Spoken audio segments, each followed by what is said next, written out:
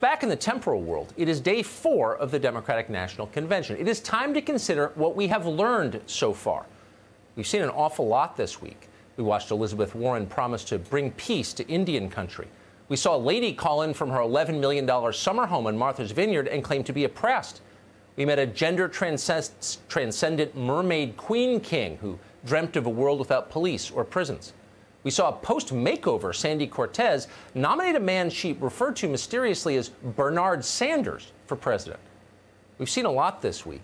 What does it all mean? Well, one thing it definitely does not amount to is a coherent ideological framework or a logical governing strategy. John Kasich and Sandy Cortez may both have decided to vote for Joe Biden, but that's about the only thing they agree on. Joe Biden himself doesn't have particularly strong views on anything these days, except maybe lunch and a nap and no one in the room likes Kamala Harris. So, what exactly do all of these people have in common? They are all unhappy, deeply and personally unhappy, tormented at the most basic level. This is the coalition of the miserable. It's hard to know precisely what went wrong for these people. Some of them are mad at their fathers. For others, life didn't turn out in the way they'd hoped. Dashed dreams, the usual story, it can make people bitter. Many others are simply victims of their own affluence. Being rich for too long tends to destroy people from within, particularly when they didn't earn it. They become guilty and restless and insecure. Whatever the cause, you could not pick a more maladjusted group than the speakers of the DNC this week. You wouldn't want these people babysitting your kids. Last night, fittingly, the schedule included an appearance by a singer called Billie Eilish. Eilish is a very talented performer. She's also very young, so we don't want to be cruel here. But the first thing you notice about Billie Eilish is that she's very unhappy. She works in the music business. Maybe it's not surprising. But whatever she's got going on in her personal life, you don't want to be part of it. And who knows what it's really about? She probably doesn't know. Most of us don't really understand what ails us. But for the purposes of last night's event, it doesn't matter. Like almost everybody in the Democratic Party, Billie Eilish has decided that Donald Trump is her core problem. You don't need me to tell you things are a mess. Donald Trump is destroying our country and everything we care about. We need leaders who will solve problems like climate change and COVID, not deny them. Leaders who will fight against systemic racism and inequality. It starts with voting against Donald Trump and for Joe Biden. We all have to vote like our lives and the world depend on it because they do. Donald Trump is destroying everything we care about, period. And that right there is the message of the DNC this week. The message is not Joe Biden can identify his own wife by sight and is therefore fit to lead the country. No. It's not Kamala Harris is actually a very sincere person who's really thought through the issues that matter. No. It's not even vote for us and our program will make the country better. No, it's not. In fact, it's simpler than that and therefore maybe more compelling. It's you're unhappy, so are we. It's all Donald Trump's fault. Let's kick him out. And honestly, you can kind of see the appeal here. Real life, by contrast, is complicated. It's never that obvious why things go wrong. And of course, if we're being honest about it, all of us are implicated in our own failures to a much greater extent than we care to admit. But that's the thing. At the Democratic National Convention, you don't have to admit it. You did nothing wrong. You're blameless. It's all Donald Trump's fault. Watch Chief Warren live from Indian country. Donald Trump's ignorance and incompetence have always been a danger to our country. COVID 19 was Trump's biggest test. He failed miserably. This crisis is on Donald Trump and the Republicans who enable him. On November 3rd, we will hold them all accountable. See? Add the coronavirus to the list of his crimes, it's all there when he wasn't stuffing your neighborhood's mailboxes into the back of his Suburban, it turns out Donald Trump was up late in his basement lab mixing up lethal bat pathogens, which he then mercilessly unleashed on America from his own personal wet market. You should see what he did to the nursing homes in the state of New York. It's awful. But if nothing else, give that man points for energy. Donald Trump is so committed to making you unhappy that he rarely sleeps. Okay, you look skeptical. How could one man achieve so much global evil in a single 24 hour day? There's just isn't time. When did he have a chance to call Vladimir Putin? And that's a fair point. It does sound unlikely. On the other hand, it's easier than the alternative explanations. Let's say you lost a presidential election that by any measure you should have won. Your husband was the president, you were up in the polls, but in the end it turned out that you were too entitled. You were too out of touch. Voters just didn't like you. It would be hard to admit that to yourself. It would be even harder to admit it to others. You might just prefer to blame Donald Trump. He must have cheated. It sounds like something he would do. I wish Donald Trump knew how to be a president because America needs a president right now. Remember back in 2016 when Trump asked, What do you have to lose? Well, now we know our health care, our jobs, our loved ones, our leadership in the world, and even our post office. Don't forget, Joe and Kamala can win by 3 million votes and still lose. Take it from me. So we need numbers overwhelming so Trump can't sneak or steal his way to victory. See? Trump stole it, along with the mailboxes and the payphones. Of course he did. Donald Trump is such a bad person that the true scope of his diabolical awfulness is hard to describe. Maybe impossible to describe, like the concept of infinity. And in fact, maybe it's better not even to try to describe it. It's like when your grandmother got sick. No one wanted to say exactly what it was. The disease was too scary. Trump is that bad. The good news is, compared to Donald Trump, everybody else looks good. Even the worst people, maybe especially the worst people. And that's the beauty of it. Listen to how they're describing Teddy Kennedy at the DNC. I've admired Joe Biden since I was a Senate intern in 1974.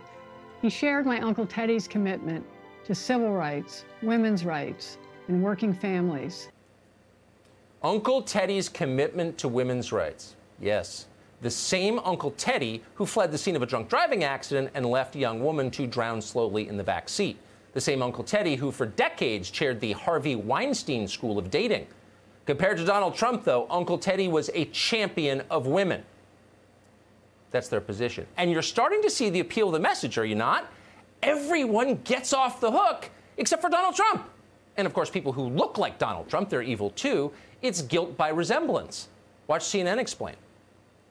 It was all about representation. My little melanated, cynical heart, my immigrant melanated woman heart felt so full last night. Actually, today is today with David and John is the first time I see a white man like in eight hours. This, you know, other than than Joe Biden last night, and that's okay. They've had 240 years of representation. They're going to be okay.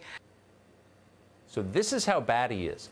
Anyone with the same skin color as Donald Trump is repulsive. In fact, so disgusting, so repugnant to gaze upon that even a brief respite from looking at people like this feels like a vacation. The CNN anchor is now refreshed, as she just told you. It was like a spa treatment in Sedona. Fetch the hot towels. Give me the cucumbers for my eyes. Keep in mind, nothing you just heard is racism. no. Now, of course, if you said that about the CNN anchor, obviously it would be racism. You would be fired for it, maybe arrested. But the CNN anchor isn't Donald Trump, is she? No. She's not someone who looks like Donald Trump, is she? No. Okay, so it's fine. Just like drowning a woman in a car, it totally depends. Was Trump around? It's all about context. Eventually, Kamala Harris took the stage last night and continued this theme. Whatever else we are in the Democratic Party, and actually, we're not going to tell you what we are. You don't need to know. We are definitely not Donald Trump, and that's enough. So just vote for us. Everything will be fine. So I think we need to ask ourselves why don't they want us to vote? Why is there so much effort to silence our voices? And the answer is because when we vote, things change. When we vote, things get better. Oh, there it is right there. That's the line of the night. When we vote, things get better. Vote for us and things will get better. She's not telling you how they're going to get better. Why would she? Just vote. Put us in power and your life will instantly improve. That's the promise they're making. It's also the promise they've been making for decades. And for decades, people have believed them. Democrats now control nearly every major population center in this country. So the question is how are those places doing? Have things gotten better in, say, Chicago or Detroit or Baltimore or Gary or Birmingham or name the city? We're not going to answer that. We're going to leave the reporting on that to you. Just Google the name of any major American city and see how life is looking for the people who live in those places right now. They did what they were told. They voted the way Kamala Harris wanted them to vote. Did life improve? That is a fair question. It's the basic question. It may be the only question that matters. Democrats hate it when you ask. When you press them, they'll let you know that, and this may come as a shock, Donald Trump is destroying things in places they've controlled for generations. Bill de Blasio just said that the other day. And then they change the subject. They're on to something else. Often they bring up a place called Selma. Selma is a small city in the state of Alabama. Selma is famous because there was a consequential civil rights march there 55 years ago this spring. You hear a lot about the march. But you never hear how the story ended. People in Selma voted, and good, that was the point of the march. And they voted for Democrats. How did that turn out for them? Selma is now the poorest city in Alabama. It is the most dangerous place in the state. It has the highest unemployment rate. More than 40% of the people who live in Selma are poor, they're in poverty. That's a tragedy. It's amazing there is a city like that in this country. Does Kamala Harris care?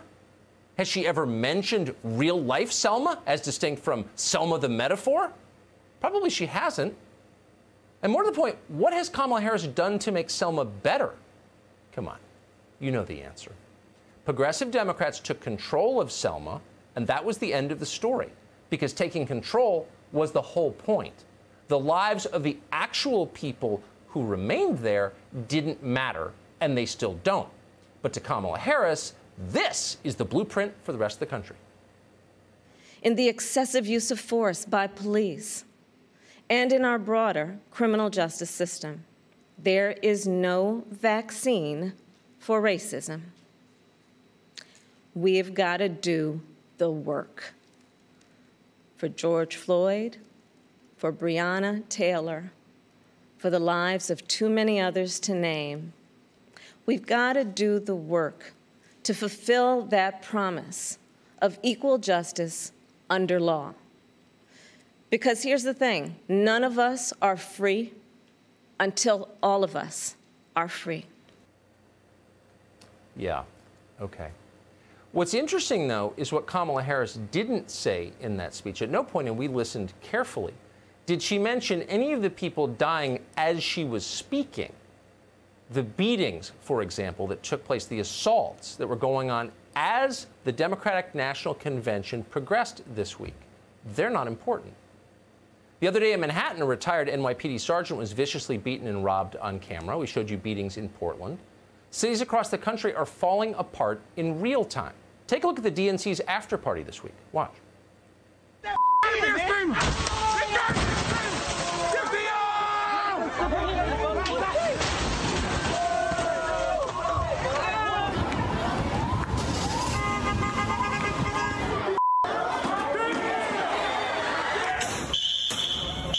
This is literally the craziest stuff I've ever seen right now.